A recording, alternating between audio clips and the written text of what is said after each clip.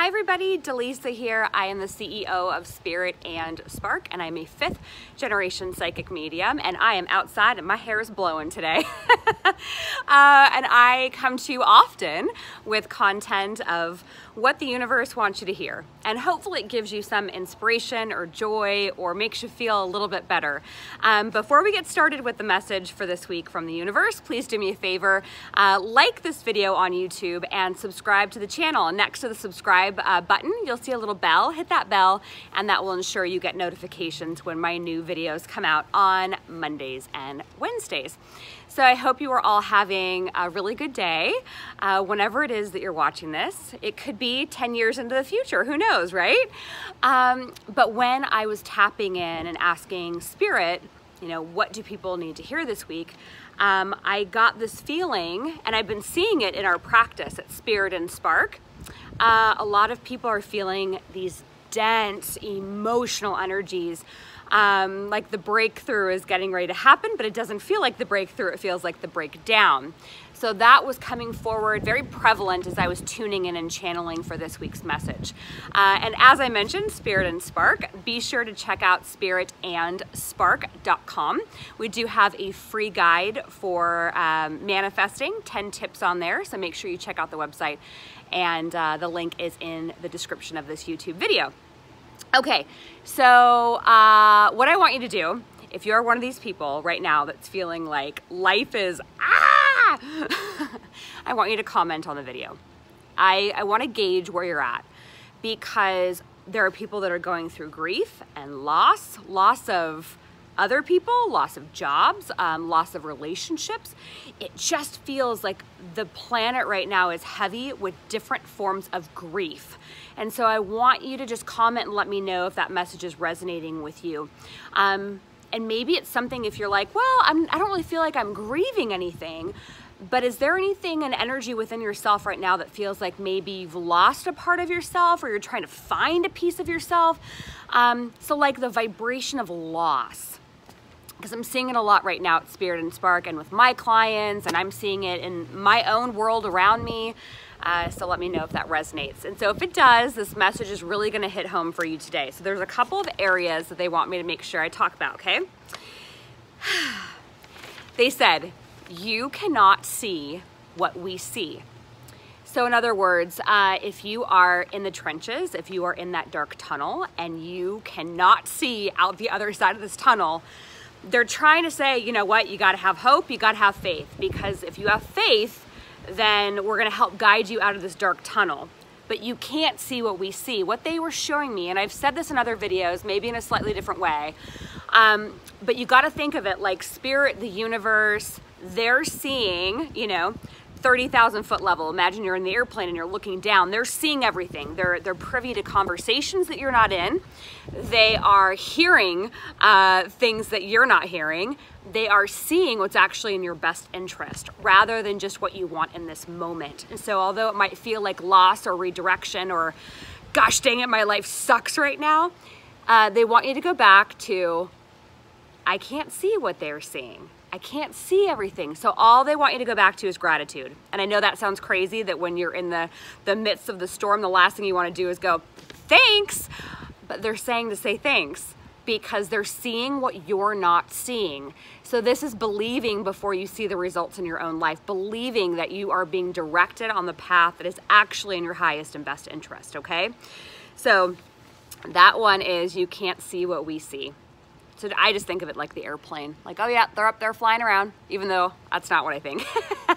but visually, that's how I see it, right? Like, oh, they see what's best for me. All right, fine. Even though this sucks in this moment, I'm gonna trust that, that they've got my back because the universe always has your back, okay? Um, the other point that they said is their lessons are not your lessons and vice versa. So I hear so often, oh, life isn't fair. All I do is I just get crapped on all the time and all these bad things happen to me. Okay, sure, life is not fair, but what's fair? Define fair and why are you here on planet Earth school? Because I believe that you're here to learn and to grow and to evolve.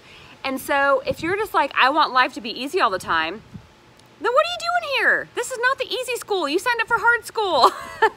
but what they mean by that is don't let their lessons, um, their lessons are not your lessons and vice versa. It's so easy for us to be like, oh, but they have the perfect relationship and why does mine stink so bad? Or gosh, they have the best job and I can't catch a break. Okay, well, what's the universe trying to teach you? Your lessons that they're trying to teach you are not the lessons that the other person next door has. Maybe they're trying to teach the person next door lessons about uh, health and taking care of your body and making you a priority. And maybe your lesson is picking the right person to be in a relationship with. So don't judge other people's journeys. You are in your own race. You are not racing for anyone else. All right? So let their lessons be their lessons and your lessons be your lessons. Stay in your lane and figure your own stuff out. All right?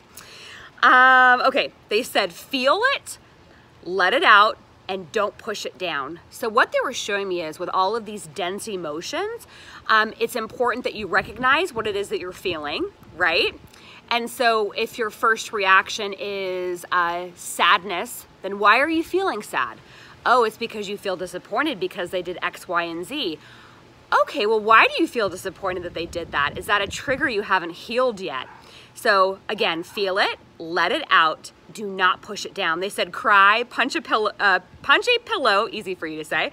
Um, meditate, go for a run, do something, but don't push it down. Acknowledge that you're feeling it. Acknowledge it and let it come up and out, okay? And then process it. Yeah, they said turn the energy into fuel for your future, which I love that line turn the energy into fuel for your future. So I'll give you an example. Let's say you just went through a breakup and you're really sad and disappointed and you're frustrated and you just so wish that it would have worked, right?